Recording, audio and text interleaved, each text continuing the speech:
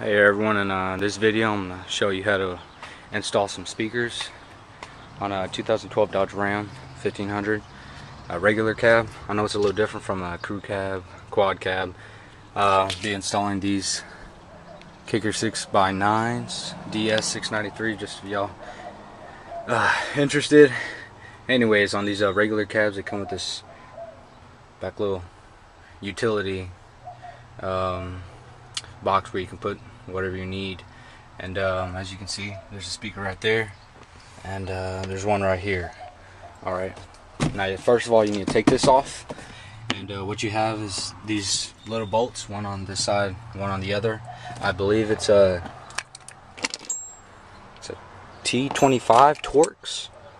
It doesn't say Torx but it, it is T25 um, they're not security so you don't need the hole in between them um, go ahead and take that one out followed by that one and also take off this seat belt um, and uh, that'll be another Torx tool as well. I believe this will be the T50 but uh, I'm not sure yet. I'm not that far. Anyways I'm gonna go ahead and do that and I'll be right back. Alright so I finished taking off those bolts. It was a T50 uh, Torx bit to take off that seat belt um, here it is, it just went in just like that. You just uh, lefty loosey, righty tighty. So um, then we have this little piece of panel and uh, all you got to do is basically just pull it off. It's just basically attached with these little clamps. Uh, as you can see all along, it'll be pretty tough to pull out, but um, no worries, you're not going to break anything. It just pulls right out. Alright, so now we can see the speaker off to the side they have these um again those Torx little bits. Same thing I believe is a T25 again. So I'm gonna go ahead and take out these four and um, install the new speaker. I'll show you uh, after I take it out. Alright here we go. Uh, finally took off those two I mean those four uh, Torx uh, little screws and uh, here's the factory speaker. As you can see this is the reason why we uh, want to replace our speakers. Doesn't even look like one like crap. Anyways, it's held on by just a little white connector. Pull in that tab. Pull out. There it is. As you can see, this maybe weighs a pound or whatnot compared to this. Alright. It's a whole lot better, alright? Uh, thankfully, the crew at Kicker hooks it up gives you everything you need to install these. Um, what I'm gonna do with this connector is I'm gonna go ahead and cut the wire right about here just in case I ever want to put this stock um, speaker back on. I can splice the wires back together and it'll be like um, yeah I, it'll just be able to hook up again alright uh, I'm gonna cut it right there and then we're gonna use these comes with two alright we're gonna use this. We're gonna go ahead and uh, use these little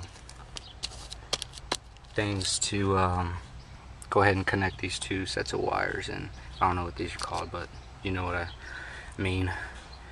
Um, after that these two connectors are gonna hook up to uh, those two little things alright and uh, then it should be able to play. So I'm gonna go ahead and uh, show you what it looks like after these wires are um, cut into and made the way it's supposed to be and uh, I'll be right back. Alright, so this is how it's uh, should look like. As you can see I cut that green, those two green wires, added those two uh, clips, spliced them in, connected the other two uh, sets of wires that kicker sent with the speakers and this is how it should look. Now these are going to go straight in to the little things right there and uh, then it should be good to go. As you can see uh, make it nice and clean. It really does pay if you get one of these good wire cutters uh, crimpers because these will just completely piss you off. I can't stand them so I'm just gonna throw them in the ditch. I'll kick them right here. Pretty much what it's good for.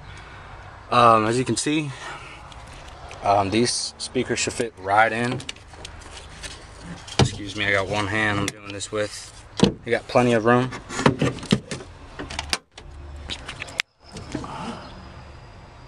this little area.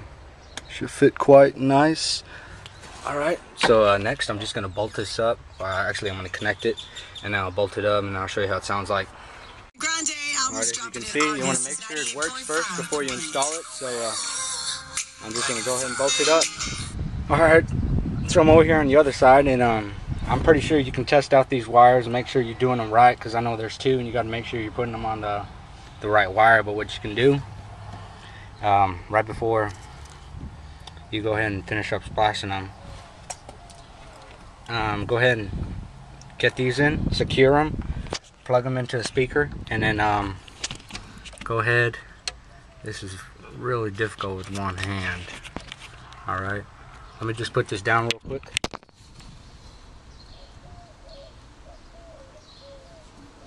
All right, as you can see, just like that, just go ahead and put it in just so it can make some contact. I'm gonna go ahead and do it with the other one, and I'm gonna put on the music to make sure it's playing.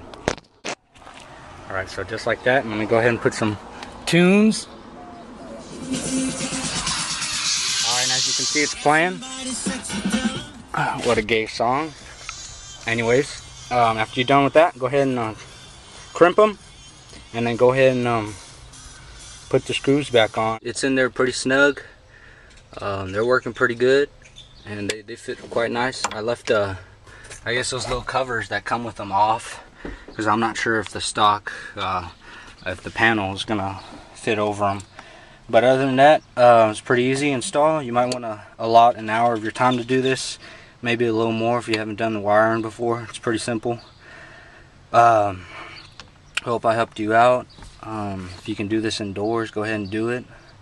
I'm doing it right now in about 95 degrees. Gotta love that Texas heat. But um, coming from Texas, you know uh, we can take the heat, if you know what I mean. Go Spurs, go.